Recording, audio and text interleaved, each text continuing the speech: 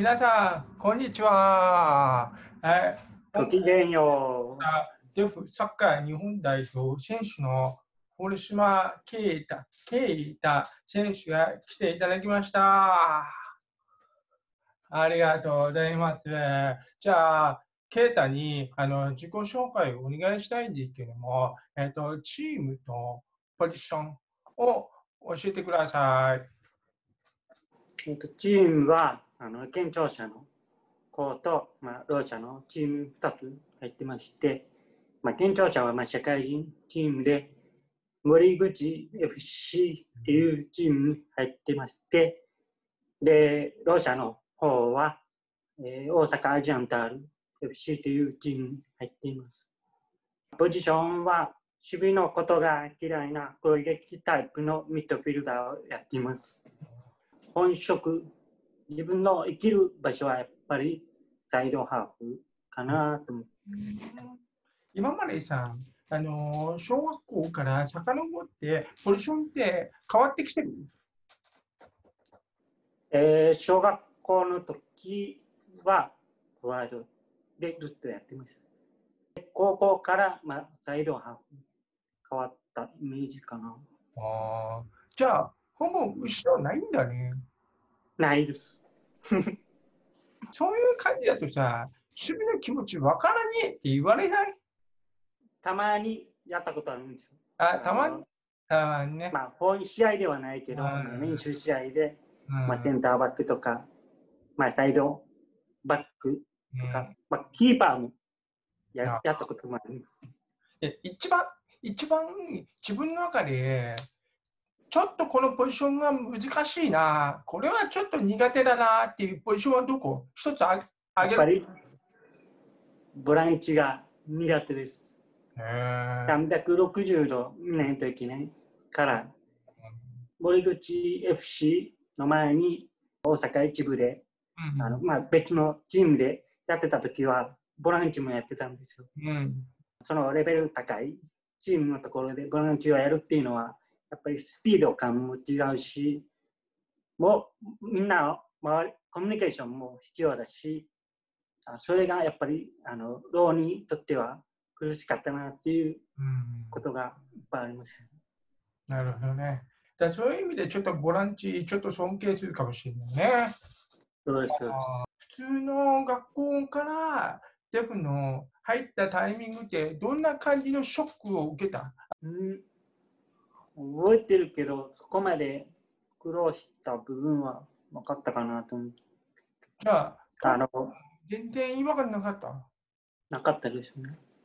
すごいなだからすぐに馴染んチームにも馴染んでたし、ぁ。デフサッカーを始めた時は手話もまだできてた方だったから、うんみんなともコミュニケーションも取れてたし、もうあの始めた時はもうサイドハーフで始まったから、まあ、自分のやりやすいようにできたかなと思います。うんさっき言ってたけどさ、あのデフのサッカーに出会う、その時からもう手話は分かってたの？分かってます。え、なんでなんで？あの18歳、まあ、高校卒業して、で、幼なじみの紹介で、全日本老学生懇懇談会？あっていううんに入ってたんですよ。出会いをきっかけに手話も覚え始めて、で、まあ、いろんな方たち、まあ、学生の方たちと交流して、まあ、いろんなイベント、まあ、企画を設けてやっていってたから、まあ、手話はまだできてた方なのかなと思います。それまではもう手話もわからなかったし、もうサッカーだけの生活になってたから、僕も手話を覚えるきっかけが高2なの。うん、で、それも場所も似てるの。関東、全日本でしょ。全日本は僕も金婚、懇談会っていう名前だったの。うん、多分ね、関西もあるんじゃない？わかんないけど金婚ってまあ、略したら、金婚、冠婚そう冠婚っていう。大学に入る前の準備として、どの大学生からいろいろ学ぶとか、スカッションとか、先輩だったってことですね。俺、僕の先輩だったっていうことに。観光の実行委員メンバーじゃないもん。あうん、観光のイベント企画でこれがあるよってうちの母母がなんかチラシをもらったらしいのね。あの行ってきなよって言われたんだけど興味なかったの。興味なくてで行ってみたら手話だらけよ。わーっつってあ。俺何言ってんやろって場違いじゃねえみたいなところから始まったのよ。それで初めて。似てると思うんですよ。うん、似てるかもしれないね。でも自分から参加する意思が出たんでしょ？あの、あ。参加して、参加して始めたのがスノーボー企画だったの。で、スノーボーだけやりたいから行くってなって、そこから始まって、あまあ、コミュニケーション、え、何？俺も初めは講話で、ーうんみんなは手話でついていけないみたいなうん流れから始まって手話を始めたみたいな。手話には抵抗はなかったんだ。なかったですね。うん、まあとはりあえずうん楽しいみたいなうん感じかな。そのその感覚やった。僕、3日間泊まり、3日間みたいな感じでしょ。そうそうそうそう。もう手話の世界だからさ、理解しなきゃ意味ないと思って、もう2日目ぐらいから、なんか頑張って読み取ってたけど、まあもちろん、あの、手話わからない学生さんのために、あのあれ、あの、これ、このれあるじゃん。うん、これあるじゃん。プロジェクター。さ、知ったみたいな感じで見て、みたいな。ディスカッションの時って、発言するタイミングも難しかったし、あうん、でも、スノボー企画だからさ、普通にそういう場ってないよね。ーないですね。ないよね。だまあ、遊び企画みたいな。あまあ、そそれがもう高校サッカー部を引退した後で、もうサッカーはもういいっていう時期で、もうちょっと遊びたいっていう気持ちで、ちょっとサッカーから離れたんですよ。大学に入ってからサッカー続けようとは思わなかった